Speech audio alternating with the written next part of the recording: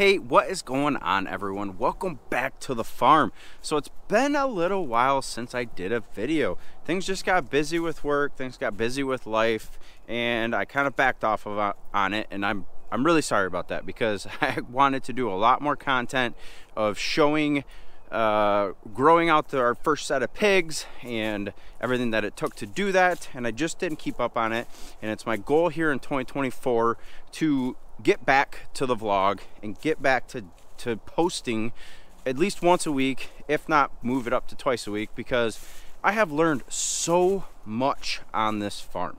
I mean, the stuff that I have learned blows my mind. I mean, there's so much stuff when you get into farming that you just don't quite understand and you just kind of got to figure it out as you go. And a lot of the YouTube channels that I've been watching have helped me a ton with learning what I need to do on the farm to make everything work. So in today's video, I just kind of want to catch you up on what has been happening. You know, we started the farm in 2023. So those of you that started watching in 2023, I really appreciate it. And it is now in uh, the beginning of 2024 and we have successfully raised our first set of pigs. We did six pigs and it could not have gone any better. And I want to tell you guys about it. I want to tell you the future plans of what we're doing and kind of where we're heading, what we're planning. So let's hang out for a little bit.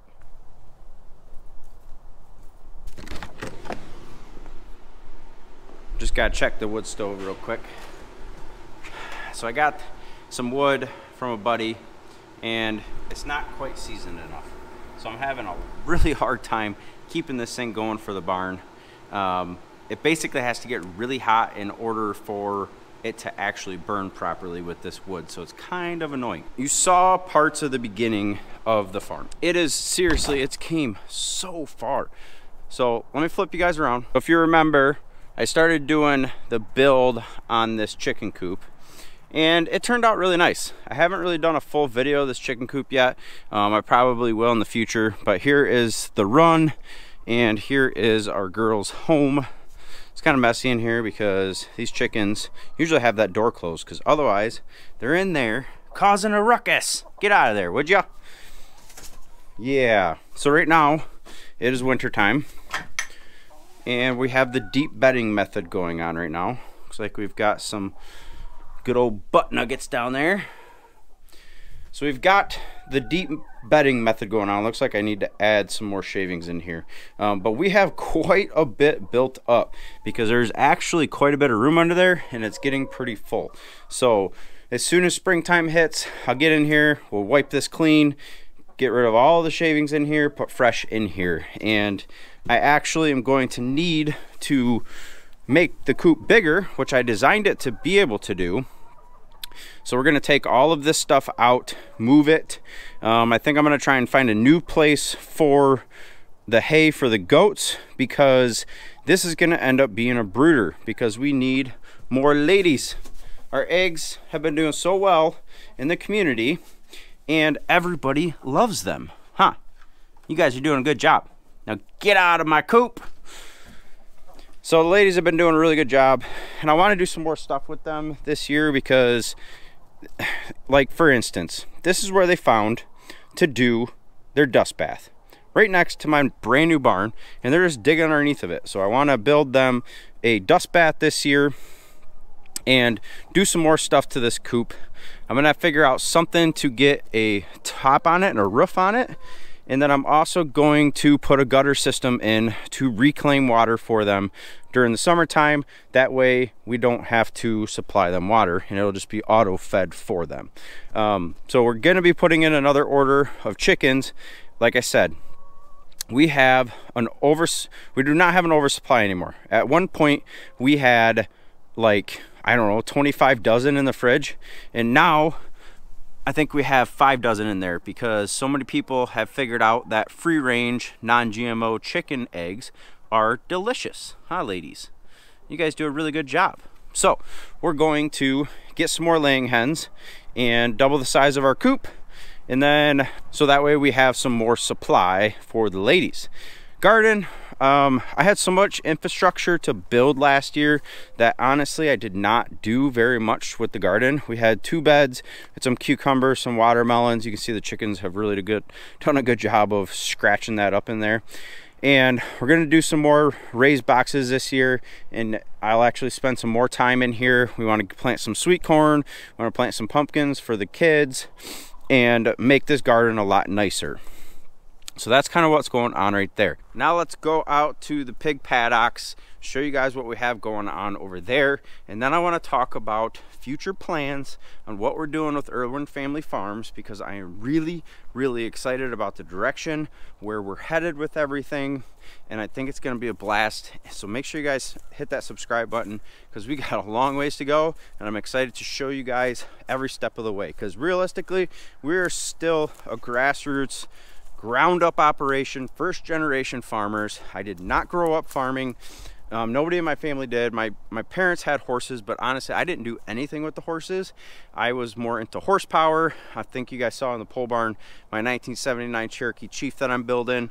And if you guys are interested in that kind of content, that has one ton of axles, 40 inch tires. It's got a 650 horsepower LS. That thing is going to be bad to the bone and I'm super stoked about it. So if you're into that kind of thing, I do have another YouTube channel I'll put down in the description called Max Overland and that is my Jeep channel where we do overland trips, stuff like that, which we haven't done in a while, but it is in the books to be able to get back out and do that.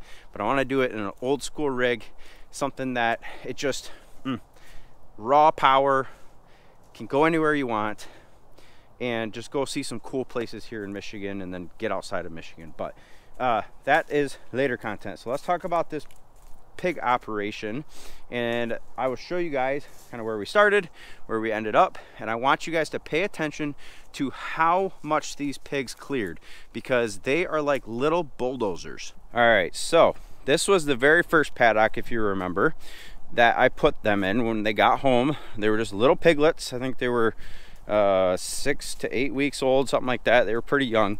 And right here where this brush pile is was our training paddock. I did a single wire system for them and well actually it was a double wire in the beginning and trained them inside a hard paddock with pig panels to get them used to it. And then I built their first paddock in here. And you can tell um, you know how much they did in here and this is when they were little so they did a really good job of clearing it out they rooted it up a little bit not too bad because they were still little but let me show you guys. So that's what it looked like before. You can see really overgrown. Can't really walk through there. A lot of briars and just nasty stuff where you don't really want to walk through there. And they completely cleared it. Completely. So from there, we move them over here. And you can see I still have this paddock up. I'm in process of taking these paddocks down. I'll show you guys over on the other side. This was the second paddock they went in. And you can just see how much they cleared of this. Again, that was what it was before. And this was after. And they were in here for about a month and a half.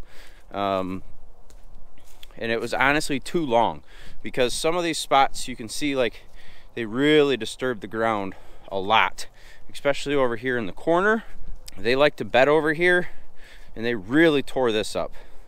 You can see how much they pushed the ground up next to the wire. So those pigs did a number on the ground. So that was the second paddock. This one was a third, and this is when they were big boys. You can see how much damage they did to the ground. I mean, they just got in here and tore it up.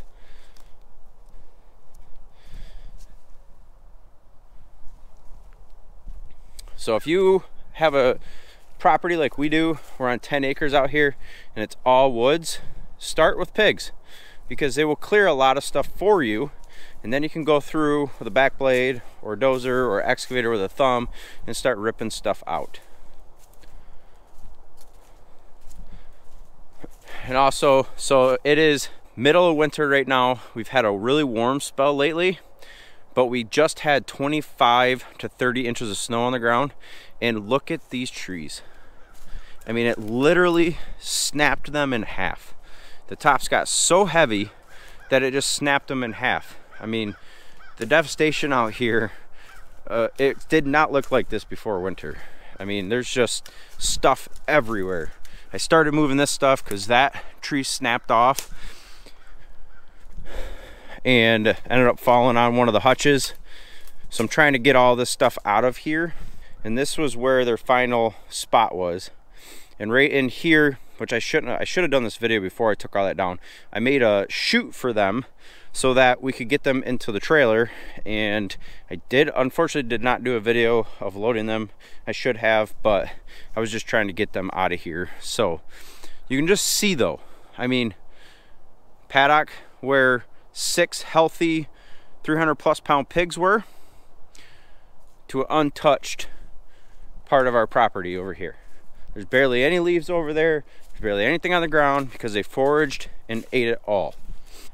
Future plans have been decided for Irwin Family Farms. You know, when we first started this, I had no idea like I knew I wanted healthy food for my family and I knew I wanted healthy food um, for my friends and my immediate family that is not, you know, like my wife and kids.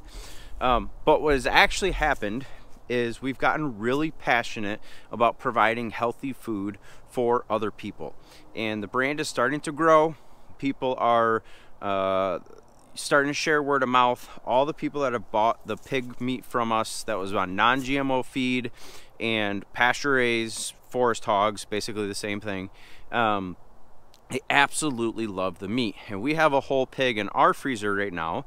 And we've been, so what the, the really cool part about this is all the breakfasts that we've had since we butchered those pigs about a month ago has been from bread that Whitney has made, eggs from our chickens, and bacon, sausage from our pigs.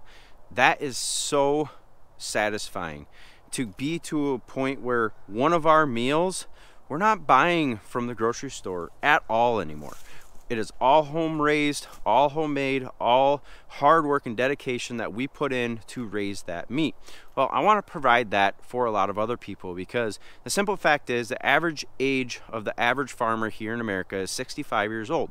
I'm 35 years old. That is a big age gap and there's not enough young people getting into farming. And I guess that's really why I want to fire up this YouTube channel and keep it going to share this journey of what we're doing. And I'm getting to the, the really exciting part here, so make sure you guys stay with me.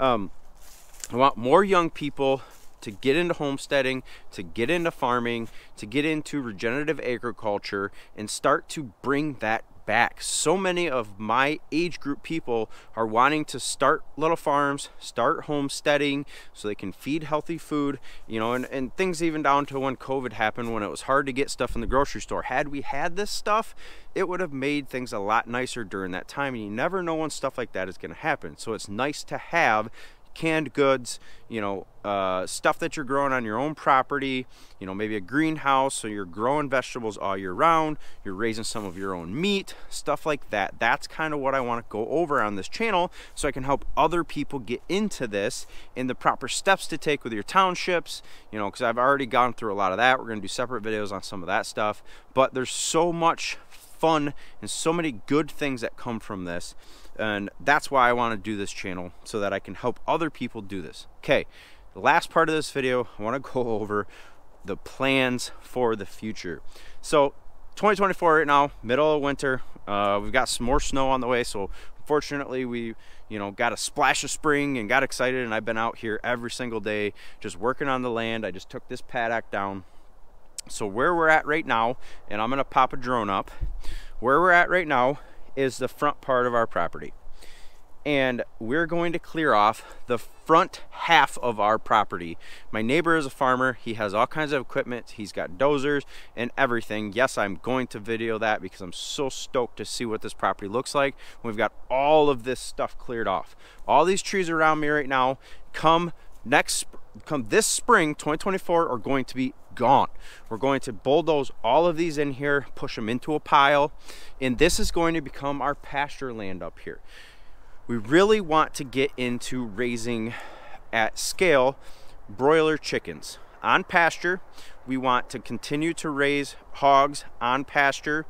And that is something that we really want to be able to provide for ourselves, our friends, our family, and the community.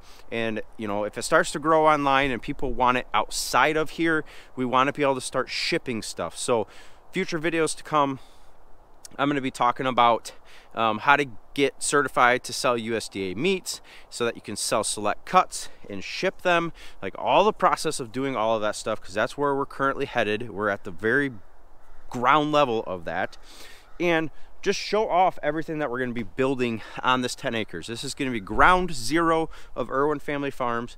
We're going to get our start here, get our profits up, get our income streams up, and then we'll probably um, either buy some more land down the road and put a big building on it and get more pasture ground but this is going to be the start of it. So we're going to clear all of this out so that we can get pasture land. We're going to have to put a bunch of lime in the ground because there's nothing but pine trees out here and if you don't know that actually is not good for the soil.